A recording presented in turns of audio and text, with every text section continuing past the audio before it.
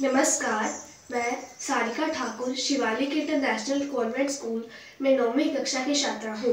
आज मैं आप सभी के साथ बच्चों की सरकार कैसी होगी इस पर चर्चा करना चाहती हूँ।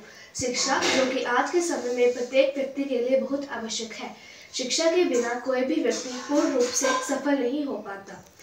शिक्षा की स्थिति को सुधारने के लिए प्रत्येक राज्य में शिक्षा मंत्री का होना बहुत आवश्यक है। यदि मैं शिक्षा मंत्री होती तो शिक्षा के क्षेत्र में बेहतर कार्य करवाने की कोशिश करती।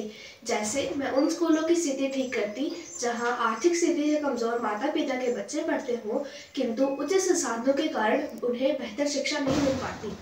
मैं स्कूलों में कौशल विकास का होना अनिवार्य करवाती क्योंकि जब तक हम आवश्यकता के अनुसार बच्चों को कौशल विकास युक्त नहीं करेंगे, तब तक कौशल की मौजूद कमियाँ हमारे देश व राज्य की अर्थव्यवस्था के प्रत्येक पहलू को प्रभावित करना जारी रखेंगी।